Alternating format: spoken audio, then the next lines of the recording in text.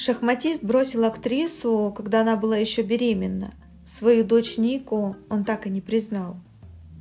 Здравствуйте, дорогие друзья! С вами канал Сливки Общества. Ставьте лайк на ролик, и вам точно сегодня повезет.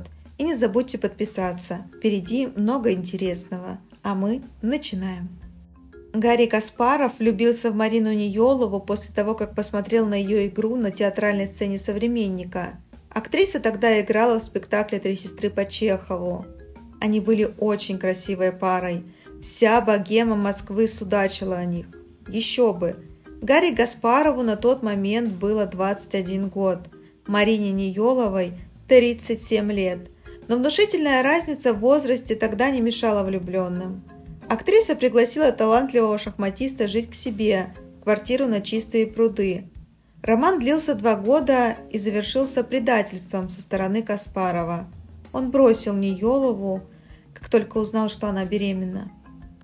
Немалую роль в разрыве отношений имела мать Каспарова, Клара Шагеновна. Она не была в восторге от такой возрастной возлюбленной ее талантливого сына. К тому же любовь отвлекала Гарри от шахмат. Когда сын заявил ей, что Марина беременна, Клара Шагеновна убедила его, что ребенок не от него. «Это не наш ребенок.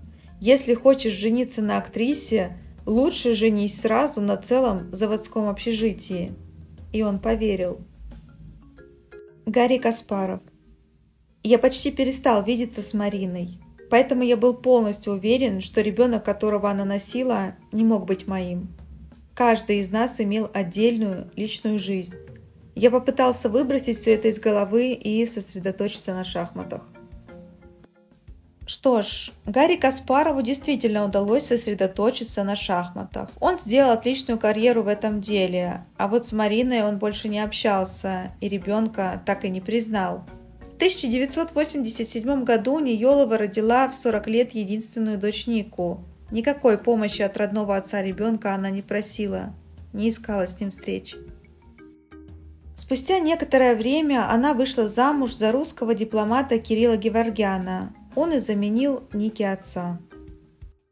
Ниелова и Геворгян несколько раз кардинально поменяли свое место жительства – от Парижа до Голландии.